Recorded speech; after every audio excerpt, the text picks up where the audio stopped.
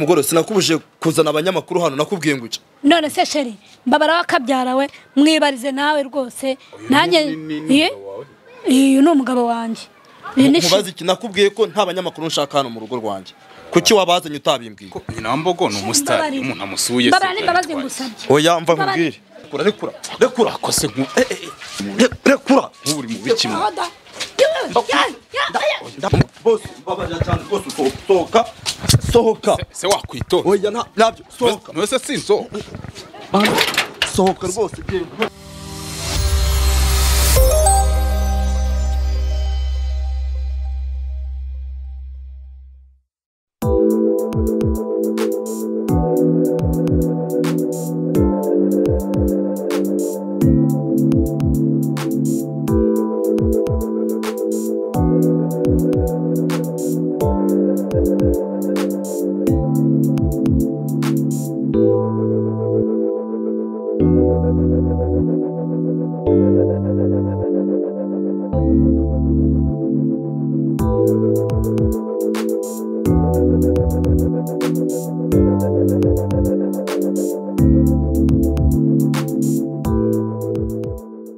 Alright ndagusuje cyane mukunzi wa Guys TV nizere kumeze fresh. Jewe nitwa Junior umusore wanyu utajya ubira imigozi imuhambira kandi ukongeraho n'akakandi kavuga ngo kubaho kumushwi ntago ari muheza gaca ubayeho kubw'Imana muntu wanjye reka nakwifurize amahoro n'imigisha mu byo ukora byose umunsi kundi. Nitwa Junior rero hano kuri Guys TV nanone kwa nyina wa mbogo mu rugo indani mu mazi.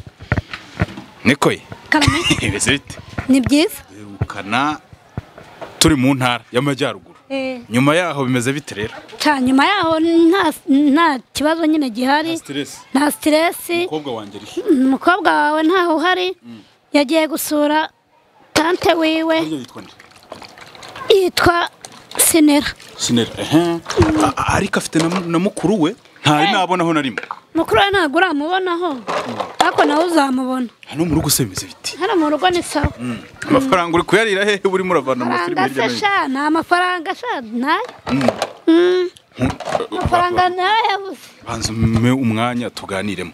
Nkunda ahantu ngera mu rugo bakambaza ngo urashaka iki? Akanyakira nyine ko kurya cyangwa ko kunywa. Ngo urashaka iki?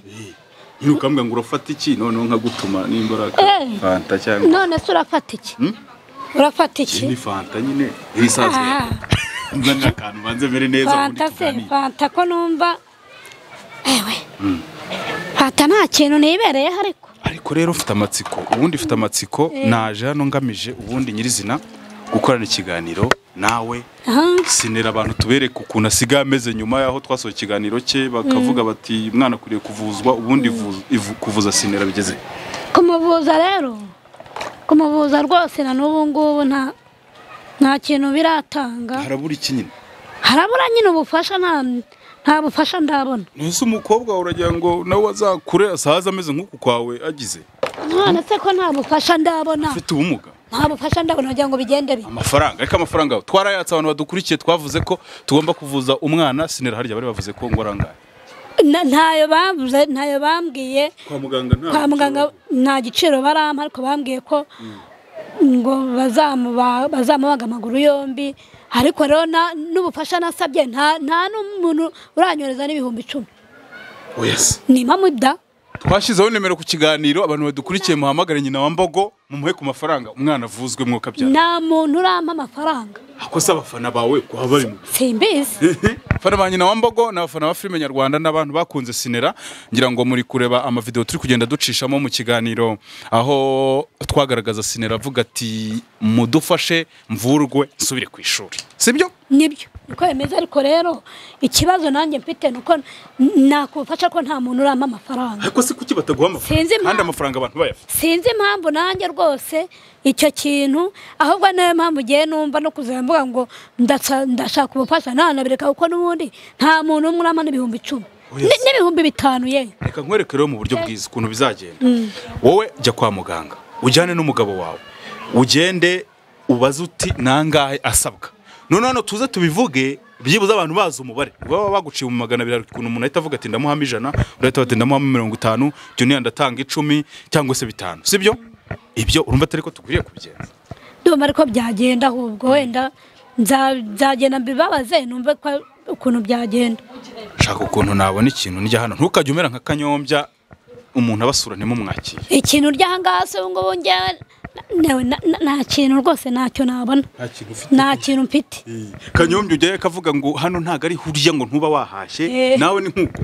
Reka reka. Nese uba wahashye nyine ese kandi noneho ubu ntunguye ntabwo ntabwo nari mbizi. Mm. ariko ushobora kugira uti amafaranga arahari ugatuma umwana akaza nkagira ukuntu nigenza ahubwo icyo gihe ahubwo wowe wakwiyakira da.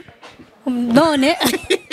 ngo ni ukwiyakira. So abantu turi kumwe hano kuri 5 guys tv turi kumwe na mm, nyina wa mbogo turimo turajya twiganira twe tumusanze iwe mu turimo twiwe two mu rugo kugira ngo tube tumena aho habiri tube ukuntu byifashe ariko ntitukubuza akazi by the way. Uretse ko ushatse wabanza ukanama umwanya tukaganira twasoza kuganira ugakomeza n'ibyo. Nta kibazo. urabizi jyewe ni pafu pafu ni papu papu umuntu witwa imbogo ngo aragukumbuye. Twahoranye kare. Eh, ni byo? Yewe we dore shaka imbogo dore Eh. impara cyakora nanjye ndamukumbuye buriya hari igihe nzashaka akanya nzagende musuri umusore ndaje shake telefone muhamagare mubanze mu- muganire niko bimeze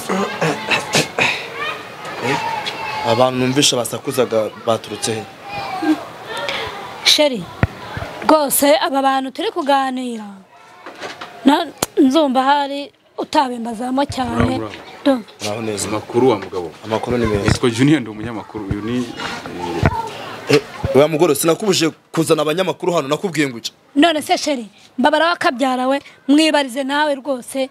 Nanjye uyu ni umugabo wanjye. Mubaze iki? Nakubwiye ko nta banyamakuru nshaka hano mu rugo rwanjye.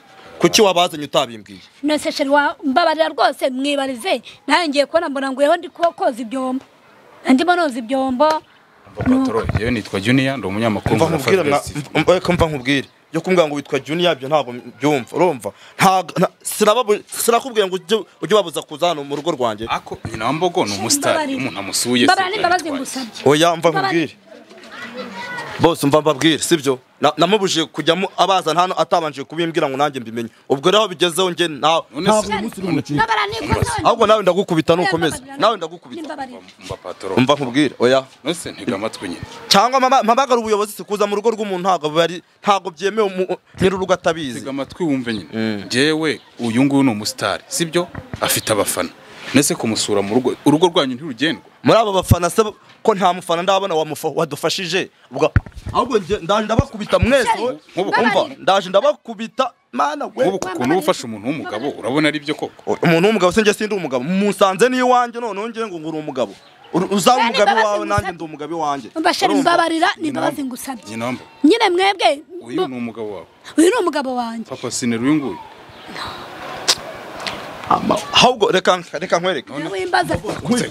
Ndagukubita Umva, mu- njye nkumva niryamiye ni- oya umva nuza ndagukubita nawe.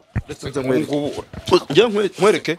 Reka ndaje ndabakubita umva ndabakubita umva. ndetse mwakumvikanye. Ndetse twakumvikanye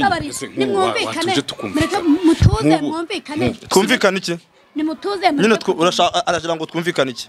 Twumvikane iki njye nawe? Se we wamubwiye? None se arica urica izina ry'umugore wawe turi kuri kamera ari ngiriya? Oya ibabo ahubwo bose ndabakubita uko muri batatu ndabakubita.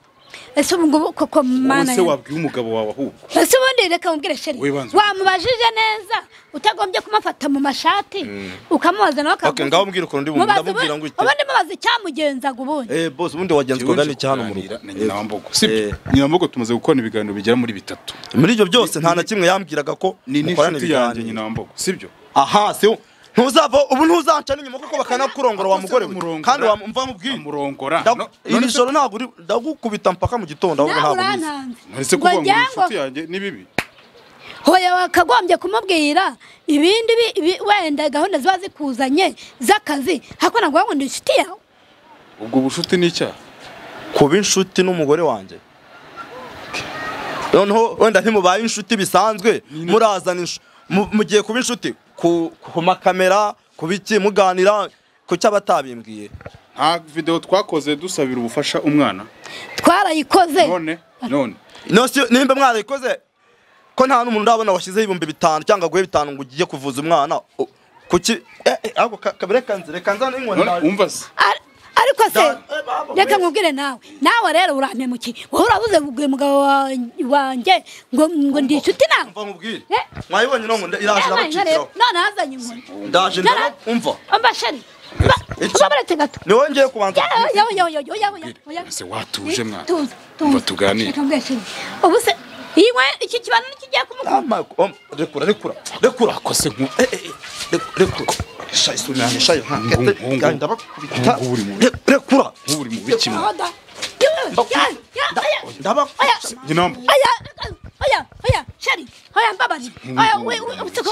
ugiye kurwana ahangaha koko.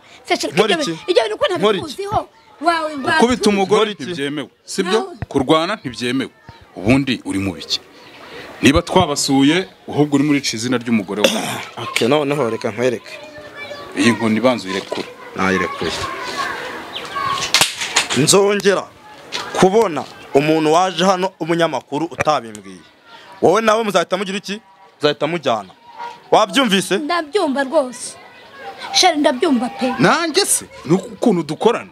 Uzi ko umugore wawe njya mu- mufata nkamuvana aha ngaha tukajya mu biraka tukajya i musanze na yewe? Ndabyumva. Nose ibyo biraka? Kutagize umbwira ngo sheri dore amafaranga mvanye mu biraka dore ngaya. Uraza ukambwira ngo uvuye mu mujyi ngo uvuye Eh, umva ahubwo reka nkubwire. Wenda bayahahiye abana. Atabimbwiye se? Ni njye ugomba guhahira abana nka nyir'urugo ngomba no kumenya n'ibyo ndi buhahe ntabwo ari uyu azicara wenyine se? Kandi tubana ibyo ntabwo bibaho. umugabo ahate uyu nguyu ni uha nyinamba niba intambara ziri muri runo rugo rwanyu zingana zitya genda igihe sinzongera no kuguhamagara. Hoya hoya ahubwo wowe gira icyo ubivugaho. Wowe nk'umu- nk'umunyamakuru.